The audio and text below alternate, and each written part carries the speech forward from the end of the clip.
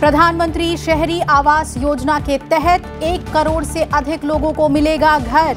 गरीब और मध्य वर्ग के लोगों को मिलेगी विशेष रियायत। करीब सवा करोड़ लोगों को मिलेगा रोज़गार।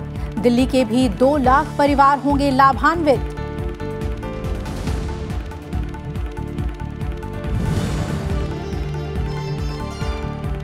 नागरिकता संशोधन कानून को लेकर अमित शाह ने कांग्रेस पर साधा निशाना। कहा, कांग्रेस और उसके साथी फैला रहे हैं अफवाह। इस कानून से नहीं जाएगी किसी की भी नागरिकता।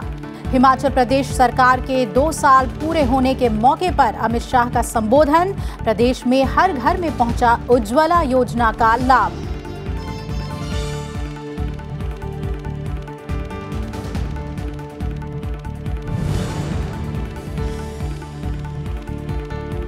उपराष्ट्रपति एम वेंकैया नायडू का रायपुर में इंडियन इकोनॉमिक एसोसिएशन के सम्मेलन में संबोधन।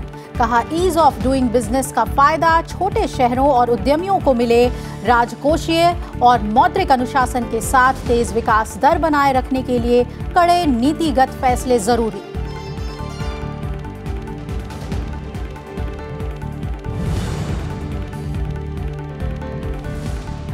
मिग 27 लड़ाकू विमान की भावपूर्ण विदाई। जोधपुर में सात लड़ाकू विमानों ने भरी आखिरी उड़ान।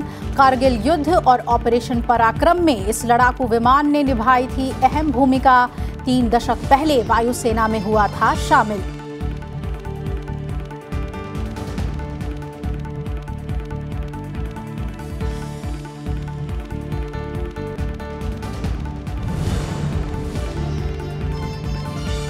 और उत्तर, पूर्व और मध्य भारत के काफ़ी हिस्से शीतलहर की चपेट में। राजधानी दिल्ली में पारा पाँच डिग्री के पास पहुँचा। कारगिल ज़िले के द्रास में दर्ज किया गया माइनस थर्टी डिग्री सेल्सियस तापमान। राजस्थान के सीकर में पारा गिरकर माइनस तीन डिग्री पहुँचा। शीतलहर से अगले दो दिनों तक राहत मिलने के आसार नहीं।